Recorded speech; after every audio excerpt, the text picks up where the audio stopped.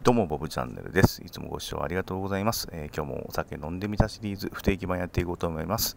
えー、今回いただきますのは、えー、アサヒビールから出ております、え、贅沢搾りプレミアム夏限定国産日向夏でございます。えこちらのがアルコール4%、果汁5%となっております。えー、贅沢搾りのシリーズの、え新しいやつですね。はい、プレミアムシリーズというちょっとあのお高いやつ。はい、今回は、え、夏限定の日向夏という、えー、発作みたいなもんですね。発作。まあそんなようなもんです。はい。これですね、なかなか美味しいですね。やっぱ贅沢搾りのプレミアムのシリーズは、えー、ほぼ間違いはないと思います。はい。えー、なかなか、あの、日向夏感が高いですね。